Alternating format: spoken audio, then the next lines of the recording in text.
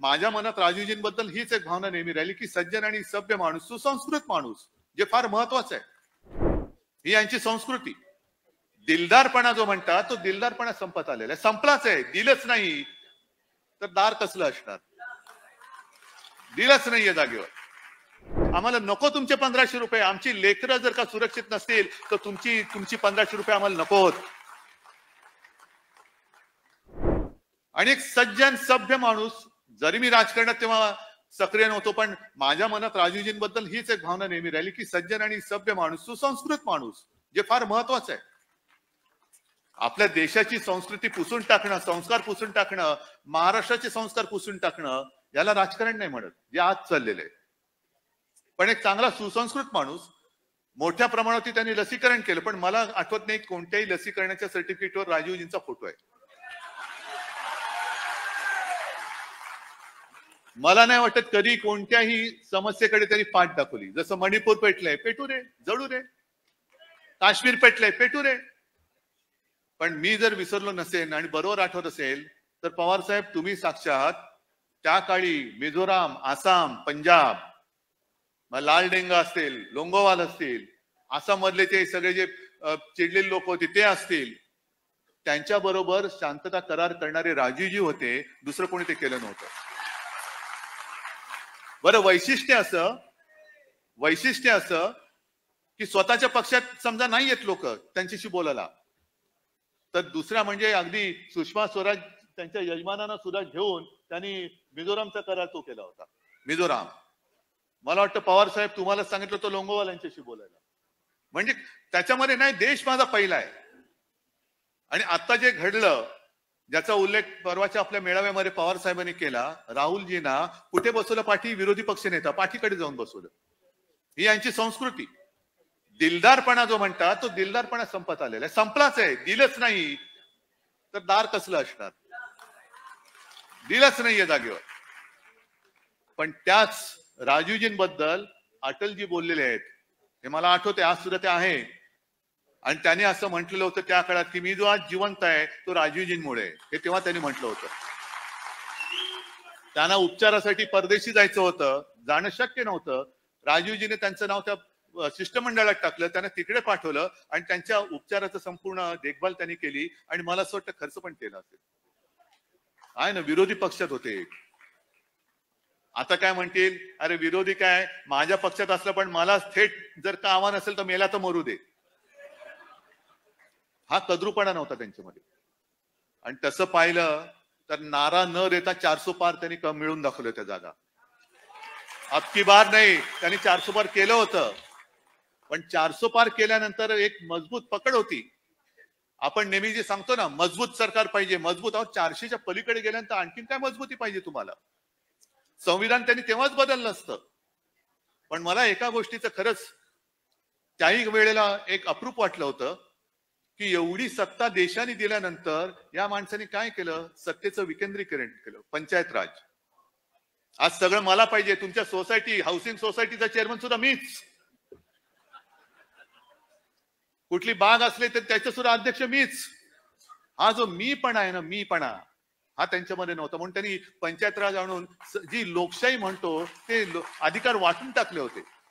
आज सगळं काय one nation one election Maharashtra तुमच्या नेशनमध्ये येत नाही का? म्हणजे आता जे वर्षातही तू जो उल्लेख केलास बदलापूर मधली घटना संतापजनक आहे. अत्यंत विकृत. पण तिच्याकडे कानाडोळा करायचा. आणि बंगालमध्ये बंगालमधल्या कृत्याचं मी समर्थन करणार नाही. देशाच्या नव्हे जगाच्या कानाकुरपात जिथे जिथे महिलेवरती अत्याचार होईल तिचा निषेध नव्हे त्या गुन्हेगारांना उलटे टांगून पुन्हा सुलटे करून फाशी दिलं पाहिजे.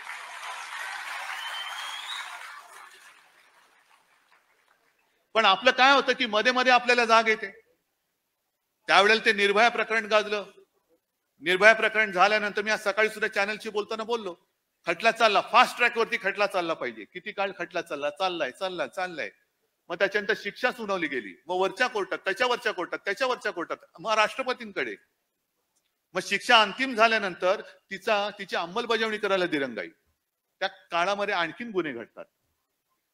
मग काय आपण लाडकी बहीण कुठे? आज सुद्धा मी बघितलं टीव्हीवरती आणि चॅनलवरती तिथल्या सगळ्या भगिनी आक्रोश करतायत. आम्हाला नको तुमचे पंधराशे रुपये. आमची लेकरं जर का सुरक्षित नसतील तर तुमची तुमची पंधराशे रुपये आम्हाला नको होत. हे कोणीच त्याच्याकडे बघत नाही. पण मी मध्ये म्हटलं ना काय वाटेल ते करा. म्हणजे मी काँग्रेसच्या सोबत आलो तर मी हिंदुत्व सोडलं. मग तुम्ही म्हणजे भाजपवाले अगदी नरेंद्र मोदी जे चंद्राबाबूच्या मांडीला मांडी लावून बसलेत नितीशच्या बाजूला बाजू मांडीला मांडी लावून बसलेत संघमुक्त भारत म्हणणारे नितीश कुमार हे हिंदुत्ववादी आहेत. चंद्राबाबूंनी जे त्यांच्या जाहीरनाम्यात जाहीर केलेलं आहे ते तुम्हाला चालतं. म्हणजे मी इकडे गेलो तर लगेच हिंदुत्व भाजप म्हणजे हिंदुत्व नाही मी भाजपचं हिंदुत्व मानायला तयार नाही.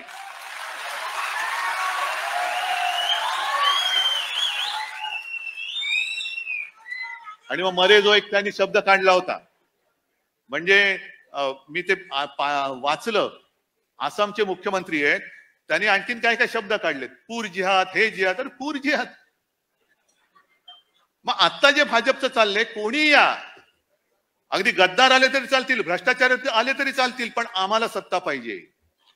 हा यांचा सत्ता जिहाद आहे. हा सत्ता जिहाद आहे. आणि या सत्ता जिहादच्या विरुद्ध आपण सगळे एकत्र आलेलो आहोत. प्रतिज्ञा घेतली चांगलं आहे कोणत्याही मी आहे हिंदू आहेच त्याच्याबद्दल मला अभिमान आहे. मी हिंदुत्व सोडलेलं नाही कदापि सोडणार नाही.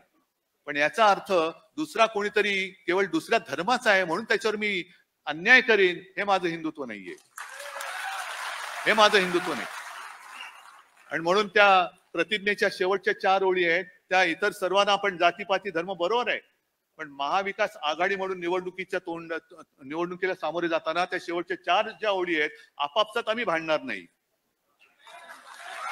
या आपल्याला सुद्धा लागू आहेत. आणि मला खात्री आहे एकदा आपण करून दाखवलेलं आहे लोकसभेत करून दाखवलंय अजून पुरता सुपडा साफ त्यांचा झालेला नाही तो या निवडणुकीत करायचा आहे. आणि आपल्या देशाची जी ओळख आहे जे आपण आज राजूजींमध्ये बघतोय की एक सभ्य सुसंस्कृत सज्जन माणूस. ही आपल्या देशाची ओळख. आपल्या देशाला संस्कार आहेत महाराष्ट्राला संस्कार आहेत. आणि हे संस्कार जपण्यासाठी आणि ते संस्कार पुढच्या काळामध्ये अधिक दृढ करण्यासाठी आपण सगळे एकत्र आलोत एकजुटीने राहू.